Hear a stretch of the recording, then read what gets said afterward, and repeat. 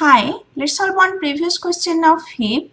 This question was asked in GATE CS 2011, question number 23. A max heap is a heap where value of each element is greater than or equal to the value of its children. Which of the following is a max heap? Four options are given. For max heap, it should satisfy two property. One is shape property, another is parental dominance property. Shape property means it should be a complete binary tree. Every level should be full except the last level. In last level, it can full from left to right. At right side, it can be empty. And for parental dominance property, parent value should be greater than or equal to its child. Option A is not a complete binary tree while option B, option C and option D are complete binary tree. As option A doesn't satisfy the shape property, it is not a complete binary tree, so it is not a max heap. Next, option B.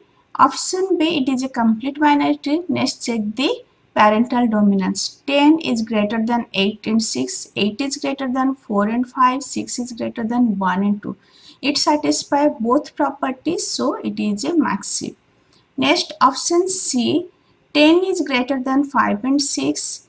Next 5 is not greater than 8. So due to this it is not a max as 5 value is not greater than 8. It satisfies the shape property but it doesn't satisfy the parental dominance property. So option C is not a max heap. Next we'll check option D. It satisfies the shape property. It is a complete binary tree. Next we'll check parental dominance property. 5 is greater than 2 but not greater than 8. Next 2 is greater than 1 but not 4. Then 8 is greater than 6 but not 10.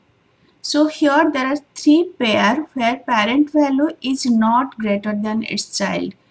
So it doesn't satisfy the max heap property that's why it is not a max heap we found option A, option C and option D are not max heap while option B is max heap.